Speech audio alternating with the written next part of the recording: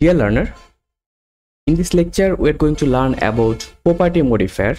It's an important term uh, in uh, ETABS and also as per code we used to apply property modifier or stiffness property modifier. I will request you to read details about that. I will attach that uh, Excel file on our uh, resource link you may able to download uh, sorry uh, that pdf file you may able to download that and also i will uh, request you to uh, study that uh, parameters or study about the parameters from your code okay before apply.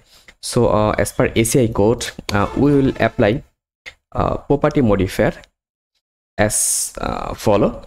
So here for beam we'll use property modifier of 0.3 times of ig so what is the meaning of that actually?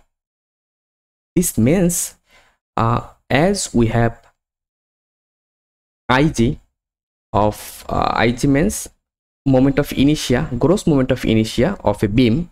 And then if we provide property modifier for 0.35 times that means its moment of inertia will be less than for 0.35 times for analysis as per software.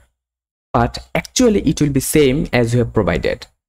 Also for column it will be 0.7 times of ig and uh, for uh, wall cracked 0.7 ig and wall cracked uh, all uncracked and all cracked 0.35 ig and uh, for slab no need to apply i mean for on wire to a slab no need to apply any property modifier except our uh, flat plates or flat slab. If you provide flat plate and flat slab you have to provide 0.25 times of ig so uh, let's start. And uh, again i am telling you please before applying this value must know about that value how it's work what is the effect of that uh, product on our structure or that value on our structure.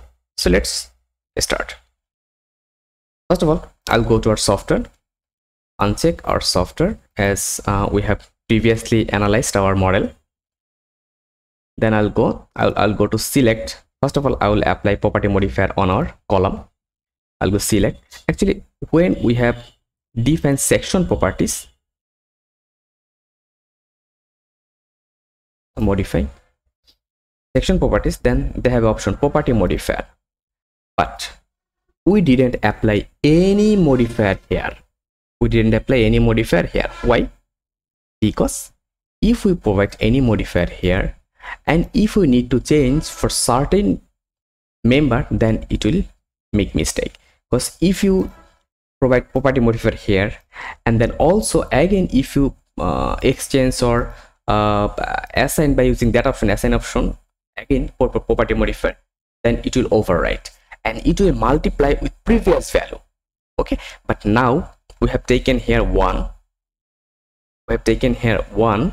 And uh, when we'll uh, apply property modifier or when we'll assign property modifier now then that value will be replaced with that value. Will replace with one. Every time will with uh, i mean will be replaced with one. Okay? That's why we didn't provide any value here. Close. Now i'll go to select then select properties or uh, select uh, object type then go for column. Select. So all column we have selected. And i'll go here assign. Then we'll go to frame. Then section properties or property modifier. Then we'll go to property modifier.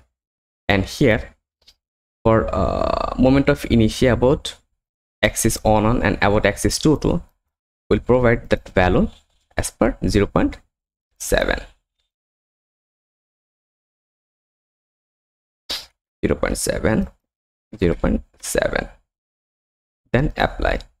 The wall property modifier have been applied at again i'll come here. And i'll select all beam. So all beam of our structure have been selected. Now i'll provide here 35 35 so what is the reason actually providing uh, 2.5 times of uh, moment of uh, moment of inertia for column and uh, uh, half times for uh, beam? Actually we know this is a best concept to design a structure for a strong column weak beam. So when we'll reduce property modifier on beam then who will protect your structure? Or when uh, your beam is weak then when a structure will be analyzed then how it will be actually how your structure will be stable. Obviously the other element other strong element will take necessary moment will take necessary share and they have to be very strong to uh, ensure your structure stability. So this is uh, also a uh, concept but i'll request you please read very large or read very uh, i mean you have to read uh, more things about that topic from your code or uh, any other source. So i'll click apply. Done. Then we'll go for shear so for from here i'll not select shear because uh, uh, if we select all then also the slab we have uh, also uh, the staircase we have created its color is also red and it will select as a wall and uh, it will uh, actually it's not okay. I'll go back. Then i will click ok go select from here property type then wall selection and lift core all select. All of lift core element you have selected. Now we'll go assign then uh, shell for all actually okay? Shell then slab section all section or you, you may go here directly for uh, property modifier. And if you come here for uh, uncracked we'll consider our structure all is uncracked so we'll provide value ff f1 on f22 for 0 0.7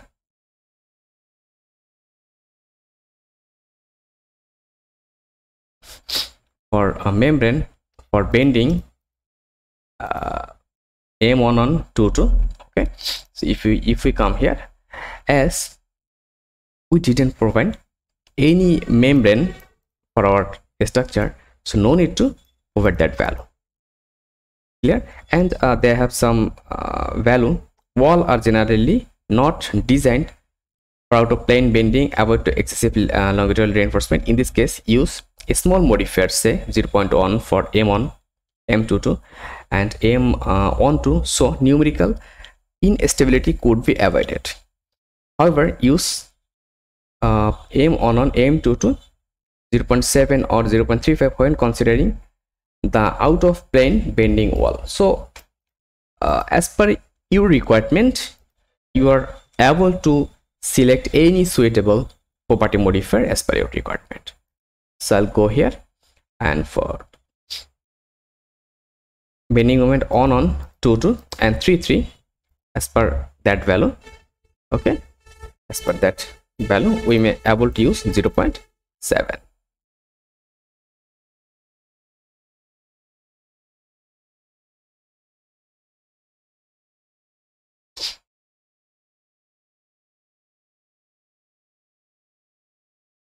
0 0.7 okay. Close so done we have completed our uh, property modifier stiffness uh, modifier. Thank you. Thank you very much for staying with us